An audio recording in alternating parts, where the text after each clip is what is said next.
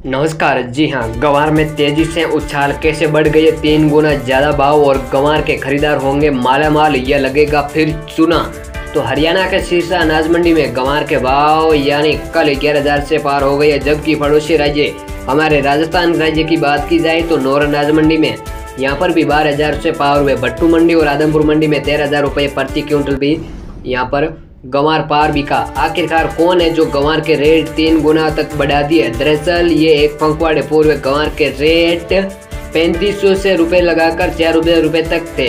लेकिन पिछले कई दिनों से इतनी तेज़ी देखी गई कि रेट कई गुना ज़्यादा बढ़ है। फ़िलहाल व्यापारी गंवार बेचने में लगा हुआ है और किसान इसे खरीद रहे हालाँकि ये तो हमने सुना ही होगा, जो व्यापारी वो गंवार खरीदते लेकिन इनमें उल्टा है, जो कि व्यापारी से गंवार बेचने लगा है और किसान इस गंवार को खरीद रहा है। हालाँकि इससे पीछे लॉजिक ये बता रहे हैं कि विदेशों में इसकी डिमांड भी बढ़ी है। कुछ लोग कह रहे हैं कि इस बार गंवार की फ़सल कमज़ोर होने के कारण राजस्थान व गुजरात में बिजाई बहुत कम यहाँ पर हुई है और बारिश ने होने के कल सारी बर्बाद हो गई, इसीलिए रेट बीस हज़ार पार हो सकते हैं। कई लोगों का मानना है कि इस बार गंवार के रेट 2011 की भांति यानी तीस से पैंतीस हज़ार रुपये क्रॉस करेंगे। हालाँकि इसकी कोई आधिकारिक पुष्टि नहीं है। फ़िलहाल किसान ने गंवार बेचने में जुटे हुए हैं और व्यापारी मिलों से निकाल कर उसे बेच रहे हैं। हज़ार ग्यारह में गंवार का भाव पैंतीस हज़ार रुपये प्रति क्विंटल से बिका था। इस बार भी ज़िले में